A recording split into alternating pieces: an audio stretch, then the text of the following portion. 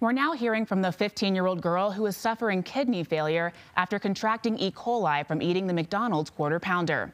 Camberlyn Bohler has been under 24 hour care at Children's Hospital for almost two weeks. The Grand Junction teenager ate a quarter pounder three times between September 27th and October 8th. She says the burgers were easy to grab while watching her school teams play. She started to feel sick, and when she texted her mom that she had blood in her stool and urine was and was vomiting blood, her mom took her to the hospital. Doctors told her it was a stomach bug. A week later, she was still experiencing a fever, vomiting, diarrhea, and painful stomach cramps. So she returned to the emergency room, and that's when blood tests showed the high school freshman had acute kidney failure. It hurt to walk, like I couldn't stand up straight.